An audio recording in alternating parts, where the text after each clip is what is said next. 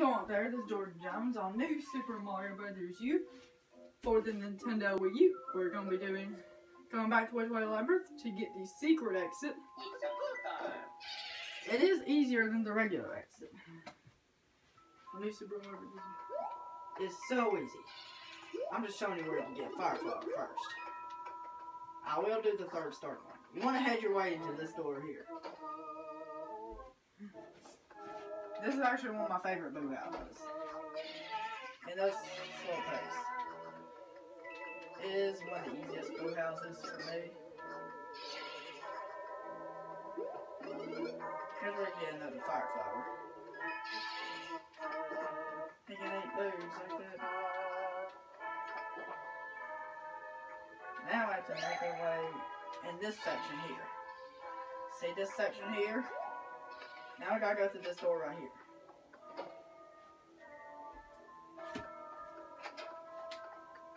We want to go through the wall, like right here. And this is where we get our third star coin. Get it? And there we go. That was a really short video. All star coins are found. And top of the flagpole for the win. We don't need to, but now because I already have 99 lives. 99 lives is maximum you can carry. And I will show you with the secret exit will not. now.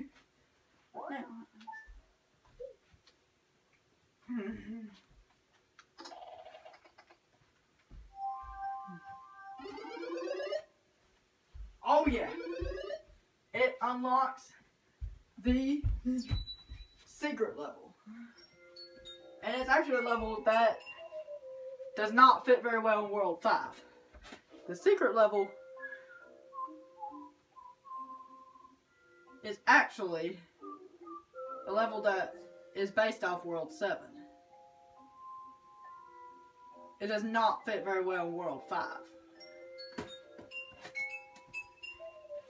That will be right before the castle. It will be a little bit before I get to that. So by now, hope that was helpful and have a good one.